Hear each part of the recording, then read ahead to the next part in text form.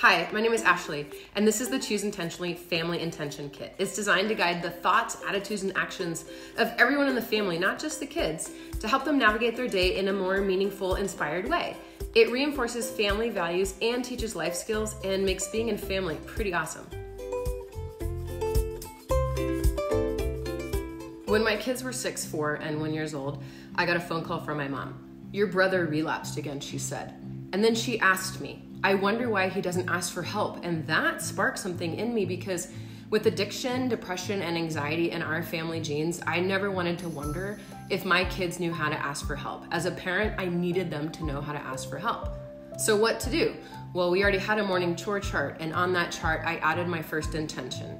I choose to ask for help today. And I coach my kids to say that each morning. They would feed the dogs, check. Brush their teeth, check. Put their dishes away, check. I choose to ask for help today, check.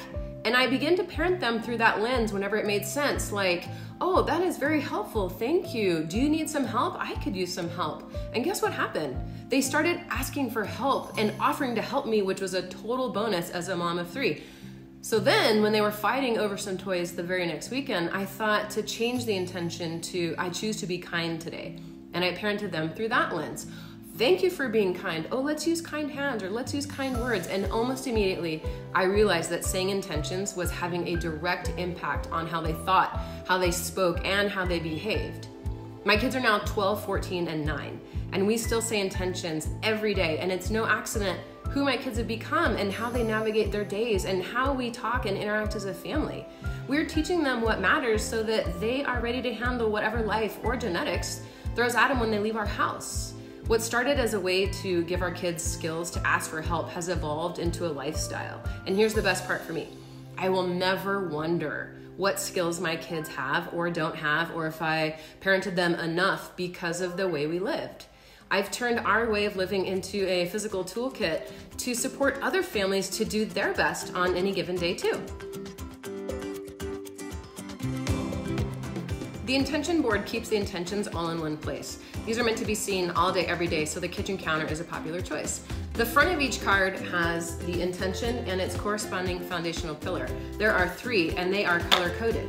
Communicate cards are blue, connect cards are purple, and empower cards are orange. On the back of each card, there are three ways to put the intention into practice for when families have more time to take it one step further. Under ACT, you'll find ideas on how to practice the intention. Under Coach, you'll find language to help teach and encourage the intention. And under Circle Back, uh, these are questions to check in with your family daily, weekly, or whenever you want.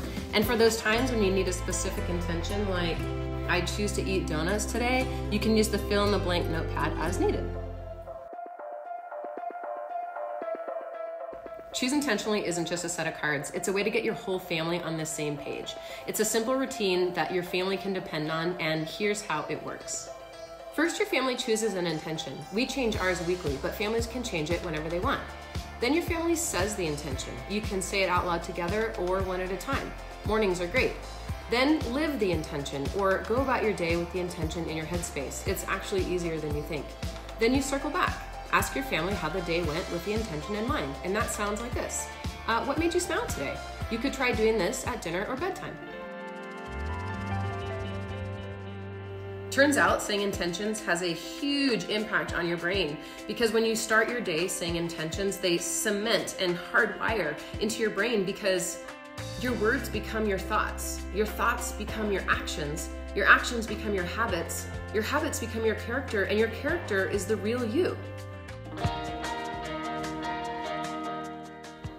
Having a family is a gift. Having a family that enjoys and looks forward to spending time together is a gift. One that is able to talk to each other about things that matter and things that don't, that knows what it stands for and knows where it's going is also a gift. Not all families know how to do this, but I don't know a family that wouldn't want it. Choose intentionally is a simple and smart daily habit, and it would make an awesome gift for any parents looking to raise their family in a positive and meaningful way.